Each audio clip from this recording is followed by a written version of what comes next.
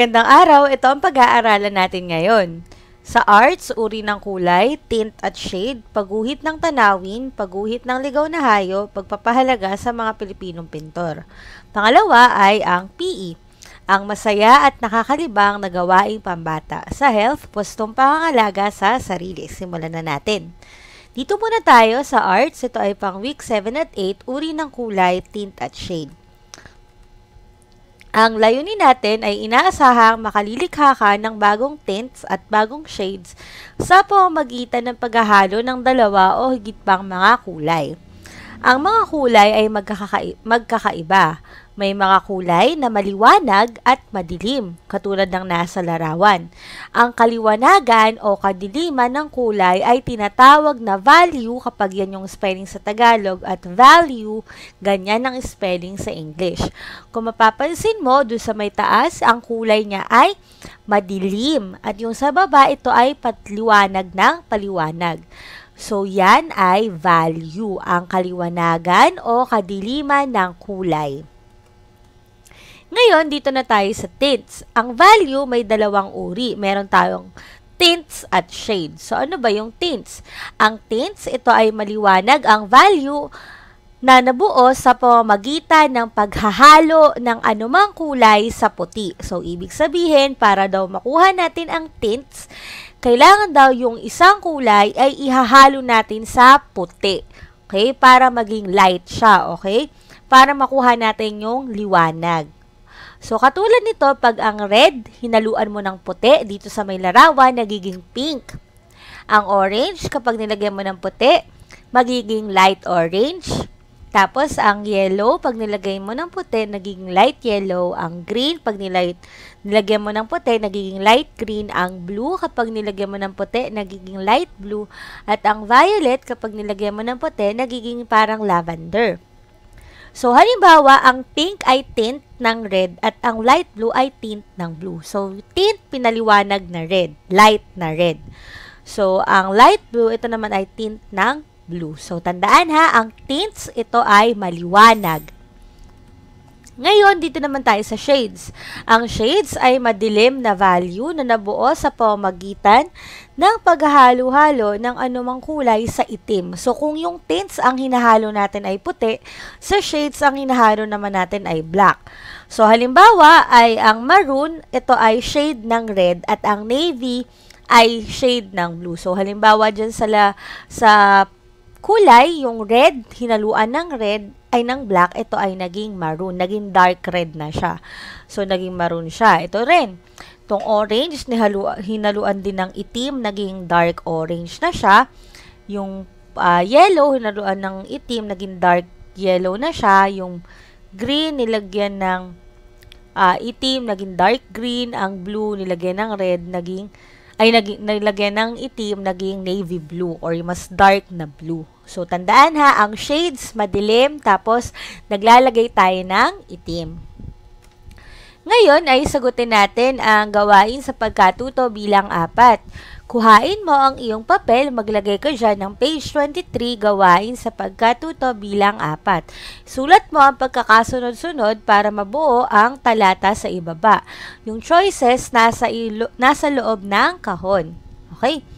Ang mga kulay ay magkakaiba. May mga kulay na maliwanag at madilim. Ang kaliwanagan o kadiliman ng kulay ay tinatawag na blank. Anong tawag doon? Black, puti, value, shades, pink, or tints.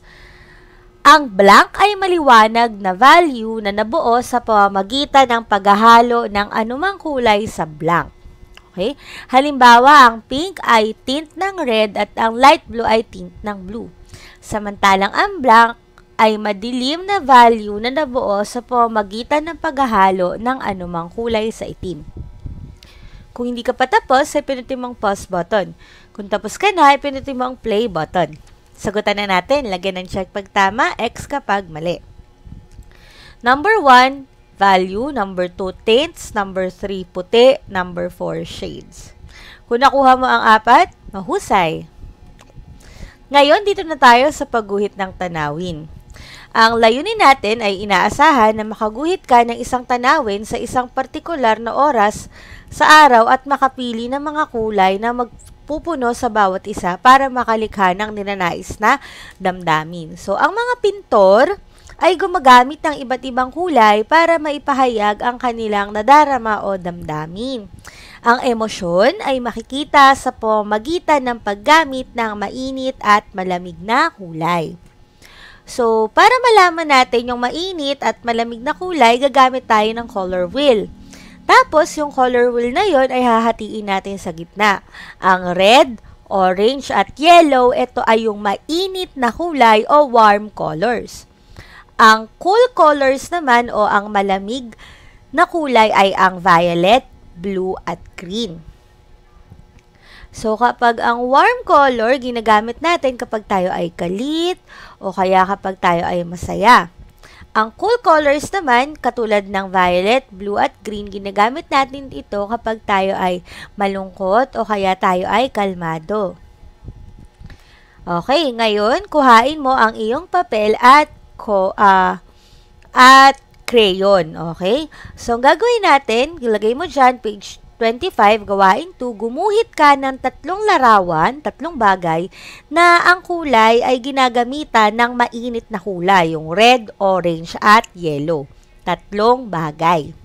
Kung hindi ka pa tapos, ay pinutin mo ang pause button. Kung tapos ka na, ay pinutin mo ang play button.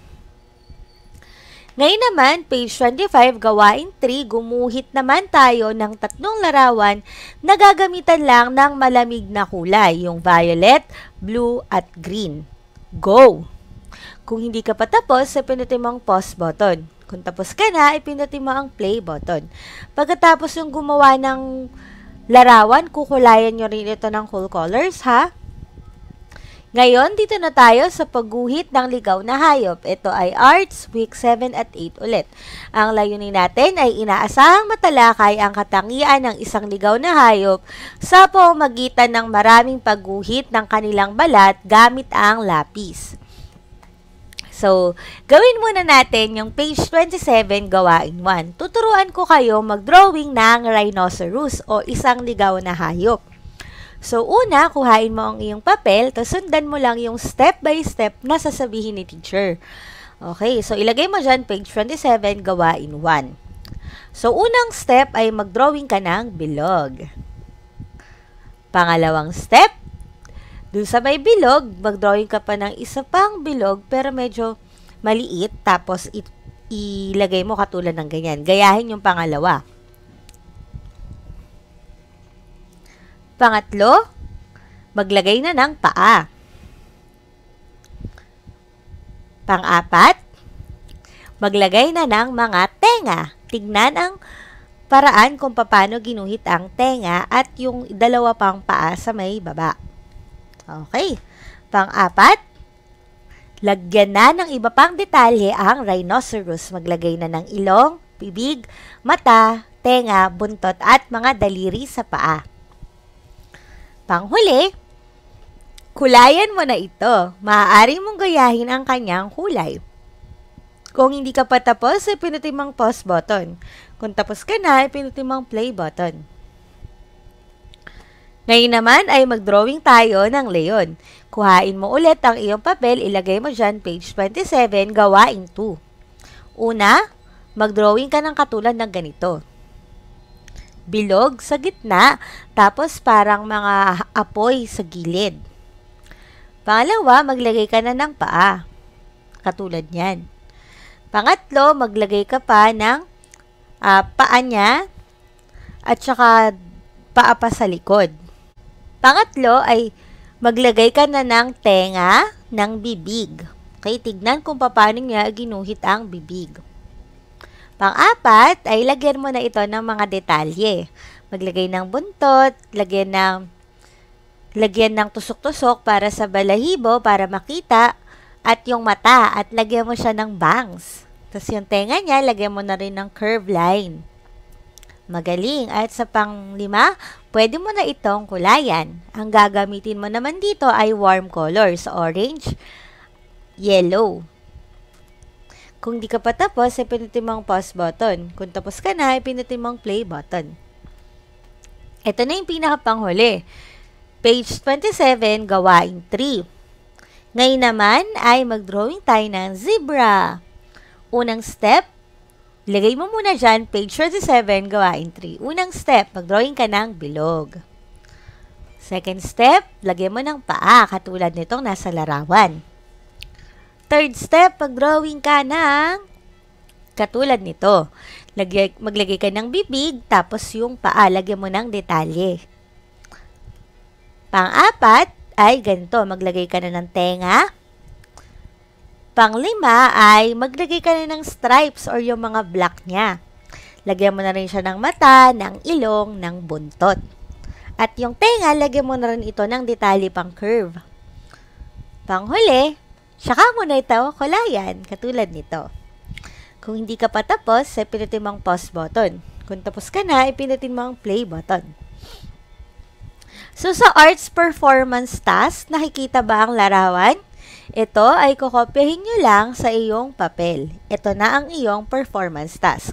Pagkatapos mo ito kopyahin, ay picturean mo lang ito. Wala na kayong sasagutan, kukopyahin nyo lang ang larawan na ito. Ngayon, dito na tayo sa pagpapahalaga sa mga Pilipinong pintor. Ito ay pang week 7 at 8. Naasahan na mapahalagahan mo ang mga Pilipinong pintor ay tunay na nakaguguhit ng tanawin gamit ang kanikanyang estilo at nakikilala sila sa kanikanilang natatanging pamamaraan ng pagpili ng kulay upang makalikha ng armonya or harmony. Ngayon, tignan ang larawan. Tungkol saan kaya ang larawan? Maaari. Pangalawa, makatotohanan ba ang larawan na ginawa ng pintor? Mukha bang totoo? Okay. Ngayon, ang painting na ito, ito ay Hidalgo's La Vendedora de Lanzones. Ito ay ginuhit noong 1875. So, ang nagdrawing nito, ang nagpinta nito ay si Felix Hidalgo. Ngayon, kuhain mo ang iyong papel, ilagay mo dyan, page 32, gawain 2. Sagutan natin ang mga tanong. Answers only lang. Maglagay ka lang dyan ng 1, 2, at 3. Number 1. Tungkol kaya saan ang larawan? Ano kaya yung nakikita mo? Ilagay ang iyong sagot sa number 1. Number 2. Makatotohanan ba ang larawan na ginawa ng pintor? Mukha ba siyang totoo? Oo o hindi? Number 3, bigyan ng pamagat ang larawan. Ano kaya sa palagay mo ang title ng larawang ito? Bigyan mo siya ng sarili mong title. Okay. Kung tapos ka na, ipinutin mo ang pause button. Kung hindi ka pa tapos, ipinutin mo ang pause button. Kung tapos ka na, ipinutin mo ang play button. So, ito ay guhit ni Arceli Dance noong 1929. Ang pamagat niya talaga ay The Flaming Vine. Ngayon, dito naman tayo, page 32, gawain 2. Okay, maglagay ka ulit dyan, page 32, gawain 2, tapos answers only lang ulit, 1, 2, at 3. Number 1, tungkol kaya saan ang larawan? Tignan ang larawan, ano kaya yung pinapakita dyan?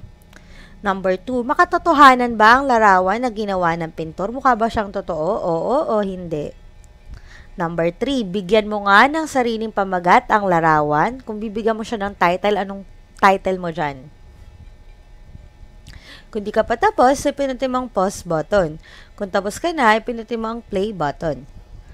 Tamang sagot ay panganay or yung pwede rin iba yung binigay mong pamagat ng larawan ha. Ay, ito ay uh, painting ni Arceli Dance. Ang title nito ay Panganay. Okay, dito naman tayo. Isa pa, page 32, gawain 4. Ilagay mo dyan sa papel mo. Page 32, gawain 4. 1 to 3 ulit, answers only. Number 1, tignang mabuti ang larawan. Tungkol saan kaya ang larawan? Tignang mabuti ang larawan. Pangalawa, makatotohanan ba? Mukha bang totoo ang larawan na ginawa ng pintor? Oo o hindi?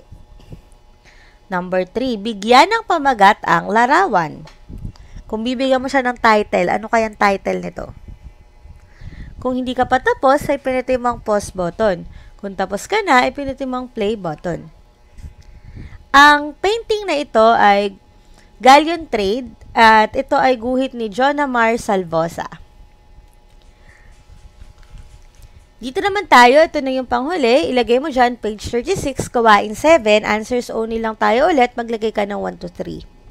Number 1, tungkol saan ang larawan? Tignan mo kung ano yung mga, ano yung hawak-hawak niya. Ano kaya yan? Number 2, makatotohanan ba ang larawan na ginawa ng pintor? Oo o hindi?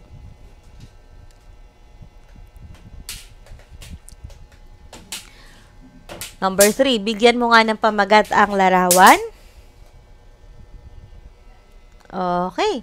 Kung hindi ka pa tapos, pinutin mong pause button. Kung tapos ka na, pinutin mong play button. Ito ay guhit ni George Pineda. Ngayon, dito na tayo sa PE. Ang pamagat nito ay ang masaya, ang masaya at nakalilibang na gawaing pisikal. Ang layunin natin, ikaw ay inaasaha makalalahok sa isang masaya at nakalilibang na gawaing pisikal ang isang laro. So, ito, ano kaya itong larong ito? Tama, ito ay larawan ng piko. Ito kaya, ano ito? Magaling, ito ay tagu-taguan. Ngayon, ang tagu-taguan at ang piko, ito ay mga halimbawa ng laro na kailangan nating gumalaw. Okay? Kailangan nating gamitin ang ating katawang pisikal.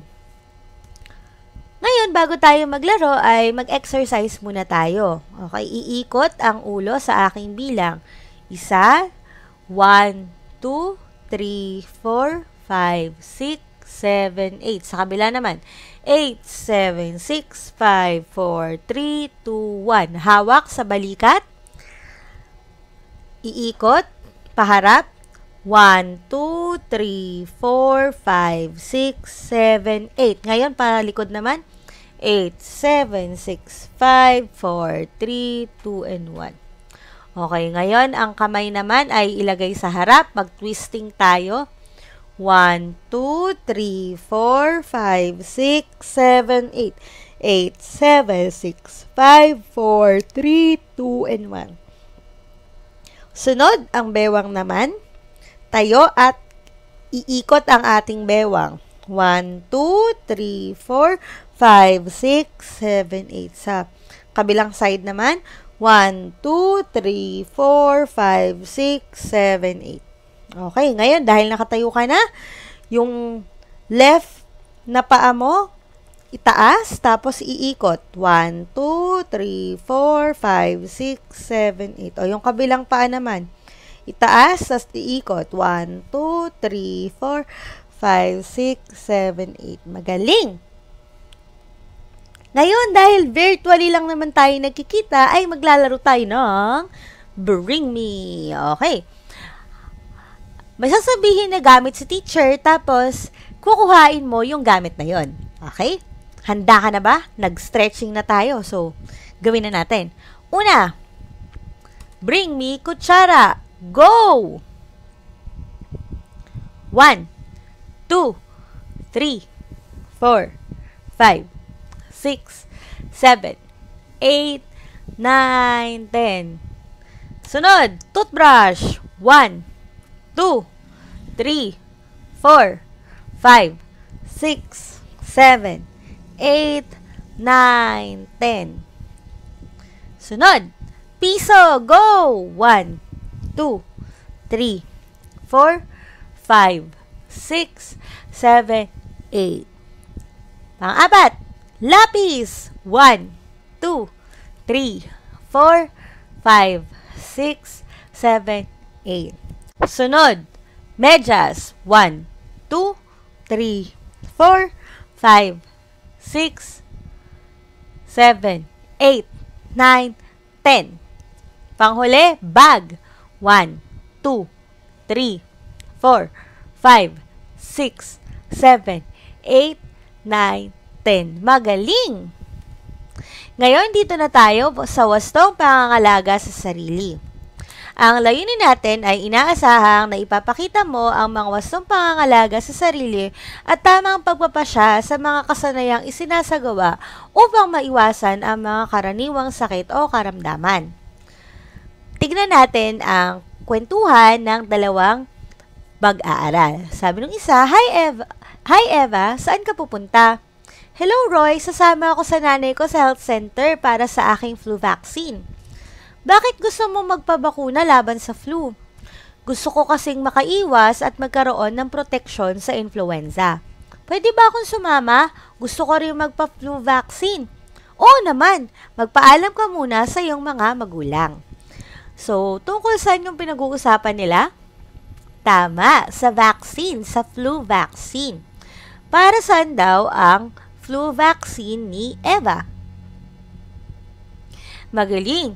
Gusto niya kasing makaiwas at magkaroon ng proteksyon sa influenza. Ngayon, ito yung mga halimbawa ng bakuna at ito yung maiiwasan natin kapag naturukan tayo ng bakuna, kapag naturukan tayo. Sa totoo lang, nung mga bata pa kayo, nung mga sanggol pa kayo, kayo ay tinurukan na ng vaccine para maiwasan nyo na yung sakit na ito. Or kung magkaroon man kayo ng ganyang sakit, ay hindi ito malala. So, yung una, yung BCG vaccine, ang sakit na maiiwasan natin ay TB or tuberculosis.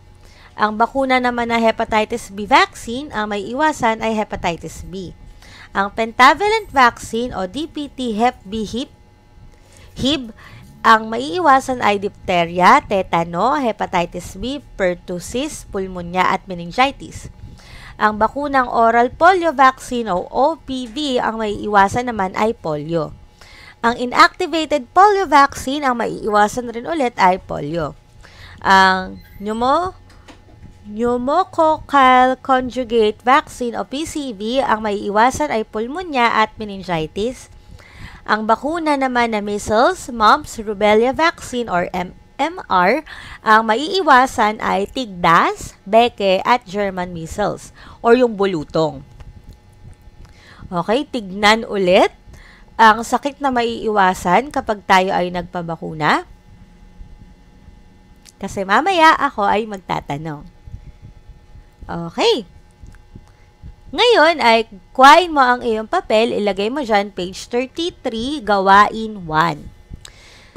Tapos, tukuyin or isulat dyan yung mga halimbawa ng mga sakit na maiiwasan natin kapag tayo ay nagpabakuna. So, ito yung mga pagpipilian mo. Cancer, anemia, bulutong, hepatitis, beke, tigdas, sakit sa puso, at influenza. Kung di ka pa tapos, pinutin mong pause button. Kung tapos ka na, pinutin mong play button. So, ang sinulat mo dyan, lagyan ng check pag tama, X kapag mali. So, ito dapat yung mga sagot mo. Bulutong, tigdas, beke, hepatitis, at influenza. Kung tama ka sa lima, magaling. Ngayon, kuhain mo ang iyong drill board. Sagutin natin ang gawain sa pagkatuto bilang dalawa. Tignan natin ang larawan. Ngayon, sagutin natin number 1. Ilang oras ka dapat natutulog? Ilang oras dapat natutulog ang batang katulad mo? Go! Number 2. Ano-ano ang mga pagkain ang dapat mong kainin? Go! Kung tapos ka nang ilagay ang sagot mo sa drill board, ay pwede mo na itong ilagay sa comment section. Kung hindi ka pa tapos, ay pinutin mo ang pause button. Kung tapos ka na, ay pinutin mo ang play button. Ngayon naman, sa papel na tayo ulit magsagot, kuhain mo ang iyong papel. Ilagay mo dyan, page 33, gawain sa pagkatuto bilang tatlo.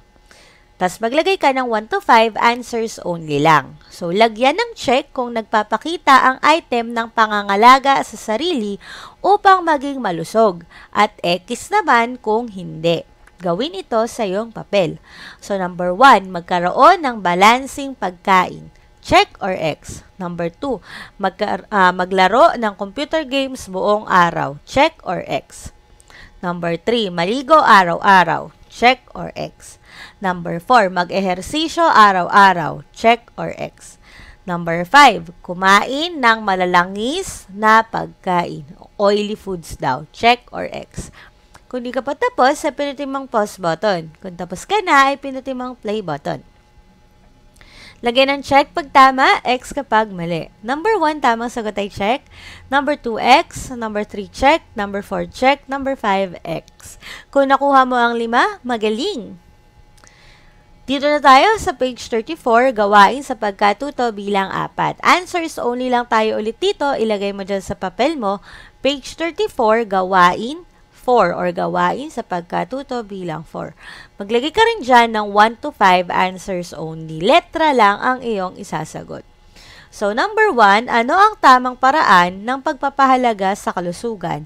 A. Pagkain ng junk food. B. Hindi pag-ehersisyo. C. Pagligo araw-araw.